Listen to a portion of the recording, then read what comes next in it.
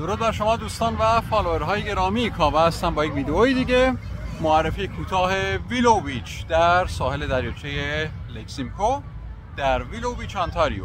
با تورنتو تقریبا 45 دقیقه فاصله داره. نوار ساحلی باریکی داره.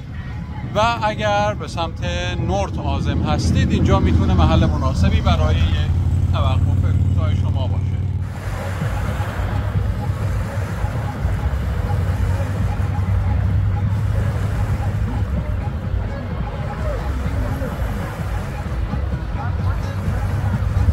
و این طرف هم محوطه پیکنیک هست و یه تعدادی نیمکت.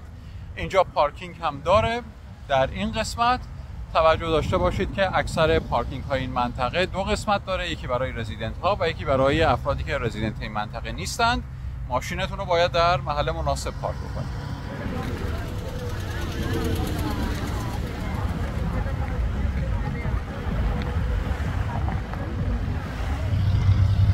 امیدوارم از این ویدیو خوشتون اومده باشه. با امید شما در ویدیوهای بعدی.